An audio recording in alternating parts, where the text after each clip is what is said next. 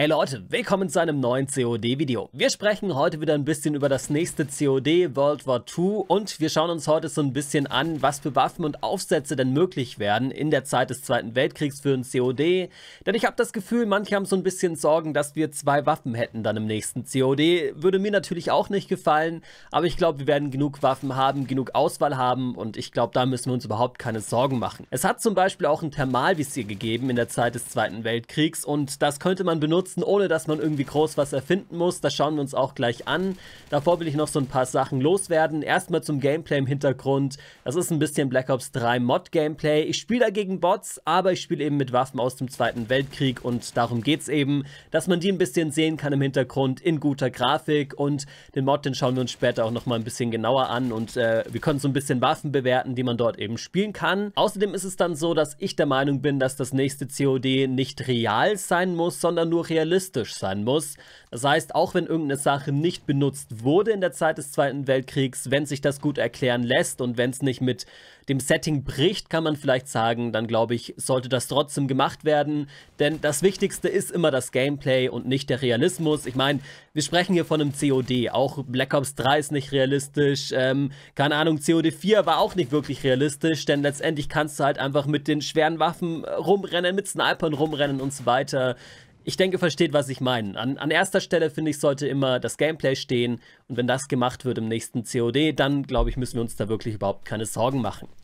Kommen wir zu diesem Thermalvisier, das ich kurz angesprochen habe. Da geht es um das Zielgerät 1229 und ihr seht gerade ein paar Bilder dazu im Hintergrund ist ein Riesenteil, das muss man auf jeden Fall sagen. Und das hat irgendwie so funktioniert, dass man oben dieses Schwarzlicht hat, das dann alles mit Schwarzlicht vorne beleuchtet und man selber hat dann so ein spezielles Teleskopvisier und kann das dann eben benutzen, um Gegner abzuschießen im Dunkeln. Der Nachteil bei der ganzen Sache, das ist ein aktives Nachtgerät. Das heißt, man hat dort eine fette Batterie mit rumschleppen müssen. Ihr seht das auch auf den Bildern. Dieser Rucksack ist die Batterie für dieses Gerät.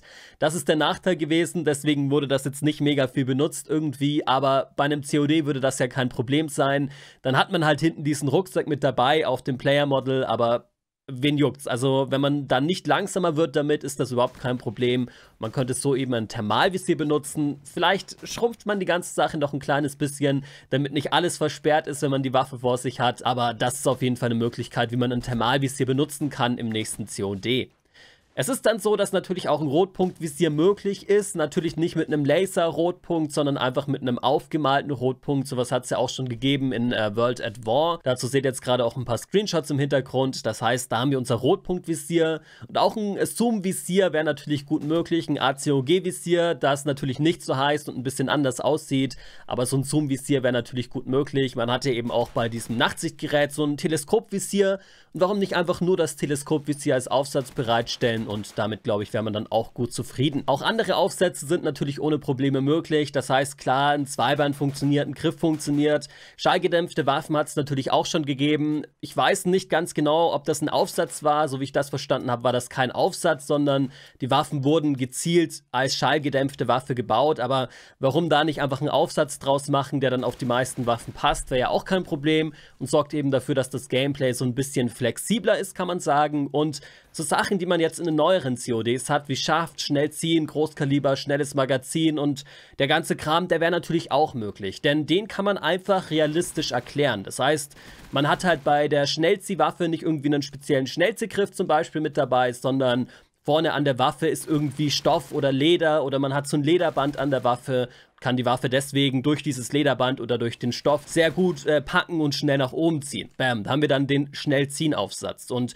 beim Schaftaufsatz wäre das natürlich auch möglich. Vielleicht wurde dann Stoff hinten auf die Waffe gepappt und deswegen liegt dann die Waffe vielleicht mega gut in der Hand, wenn man anvisiert und deswegen kann man sich dann schneller bewegen, wenn man gerade anvisiert.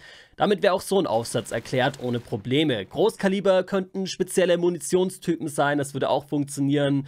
Ähm, Im Prinzip geht das alles. Schnelles Magazin kann dann irgendwie ein Magazin sein, was irgendwie weiter oben noch befestigt ist, irgendwo an der Kleidung und deswegen kann man schnell wechseln und so weiter. Ich denke, ihr versteht, was ich meine diese ganzen Aufsätze, diese ganzen Eigenschaften für die Waffen, die könnte man einfach gut erklären, zum Setting passend erklären, dann wäre das überhaupt kein Problem und wir müssen eigentlich kaum Abstriche machen. Natürlich so ein bisschen Sachen fallen natürlich weg, aber im Großen und Ganzen sind auf jeden Fall ziemlich viele Aufsätze möglich. Auch bei den Waffen ist es so, dass wir wirklich verdammt viele Waffen zur Auswahl haben und im Hintergrund seht ihr jetzt mal die Wikipedia-Liste mit den Waffen, die genutzt wurden in der Zeit des Zweiten Weltkriegs und das sind verdammt viele. Das heißt, auch da müssen wir uns eigentlich keine Sorgen machen. Mit Ausnahme vielleicht bei den vollautomatischen Sturmgewehren, denn da hat es nicht wirklich viel gegeben. Ich kenne mich nicht wirklich gut aus mit Waffen, aber so wie ich das überblick, wurde in der Zeit des Zweiten Weltkriegs und in diesem Krieg eigentlich nur die STG 44 benutzt, so wirklich.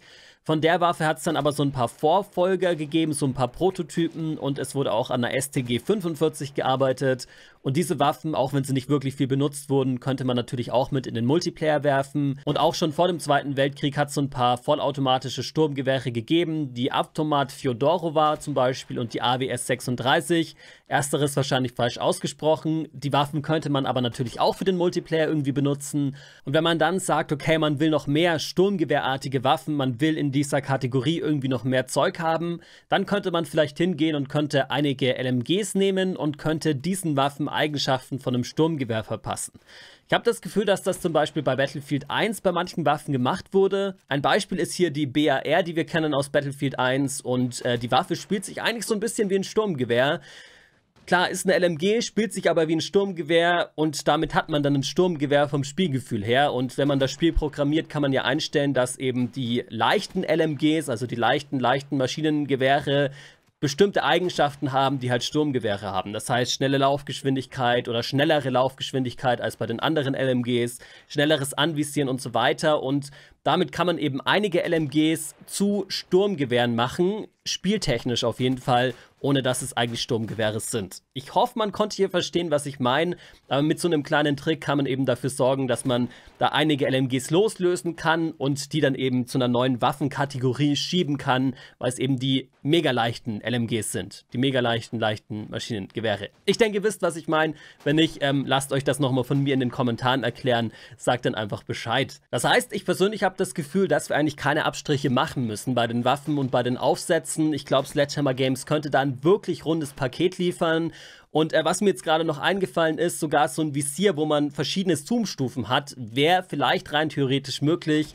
Man kann jetzt sagen, dass man einfach verschiedene Linsen hat in, der, in dem Visier und dass man die hin und her klappen kann. Das heißt, wenn man weiter reinzoomen will, dann setzt man die Waffe kurz ab, klappt die eine Linse nach oben und hat dann eine andere Zoomstufe.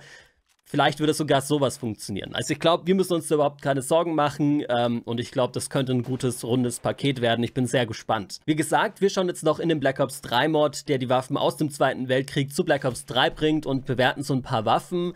Davor allerdings schreibt gerne eure Gedanken zu den ganzen Aufsätzen, zu den Waffen und so weiter in die Kommentare. Ich bin da wirklich mal sehr gespannt auf eure Meinung zu der ganzen Sache. Habt ihr irgendwie Angst bei einer bestimmten Sache? Lasst es mich wissen, schreibt es gerne in die Kommentare. Vielleicht können wir da so ein bisschen drüber diskutieren diskutieren. Ich glaube, das ist auf jeden Fall ein spannendes Thema. Und ja, wir schauen uns jetzt den Black Ops 3 Mod an. Okay, wir sind jetzt im Spiel. Wundert euch nicht über die teilweise etwas komischen Animationen.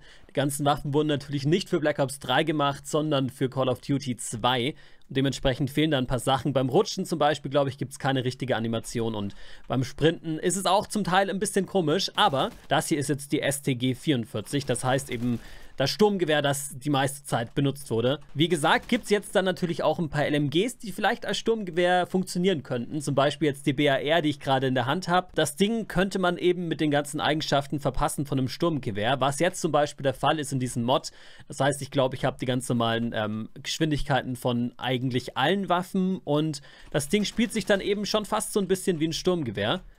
Und genau sowas könnte man eben benutzen und man könnte da einigen Waffen eben diese ganzen Eigenschaften geben. Und hier haben wir jetzt dann noch eine MP, die glaube ich nicht so wirklich bekannt ist. Das heißt, es gibt immer so ein paar Waffen, die jeder kennt. Das ist jetzt die M3 Grease Gun. Ich glaube, so wird die äh, gesprochen oder Greasy Gun.